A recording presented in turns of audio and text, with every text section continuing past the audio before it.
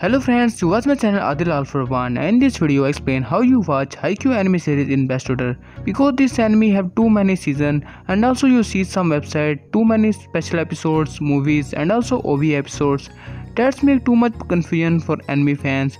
So in this video I explain the best order to watch this anime and also explain all worthless and non-worthless movies special episodes. So I explain complete detail in this video so I start my video. So first the Haikyuu anime series have total 4 season. So you start this series with season 1. The season 1 of Haikyuu anime series released April 6, 2014 to September 21, 2014.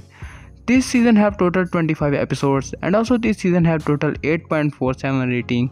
After watching the first season, you watch the second season of this series. The second series name is Haikyuu 2 this season released October 4, 2015 to March 27, 2016. This season have total 25 episode and also 8.68 rating. After watching the second season, you watch the third season of this series. The third season name is Haikyuu 3.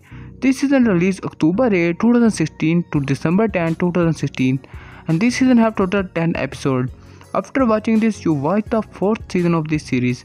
The fourth season name is Haikyuu 4 to the top. This season released June 11, 2020 to April 4, 2020.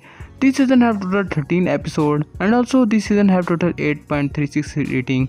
After watching this, you watch the second part of the fourth season of this series. The season name is Haikyuu to the Top Second.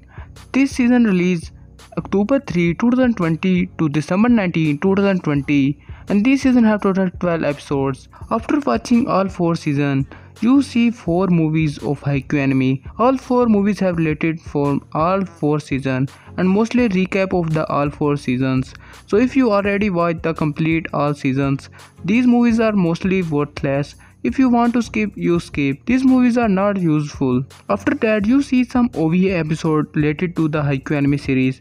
Mostly Haikyuu OVA episode also worthless but I find two OVA episodes. They are mostly useful to watch. So first OVA episode name is Haikyuu Lev Genzan. This episode released 2015 and this episode have total 7.73 rating. After watching this you watch the second OVA episode. This episode name is Raikyu vs Koyu. This episode released June 22, 2020 and this episode have total 7.82 rating. After watching this you complete and this anime and very soon the next season 5 coming soon. So I explain all seasons, all movies and all OV episodes related to this anime series. So I explain proper details. So if you follow this pattern, you understand complete story without miss anything and also save your time for watching useless movies or OV episodes. So I hope this video very helpful. So please like subscribe my channel for more amazing anime updates and thank you to watch my video.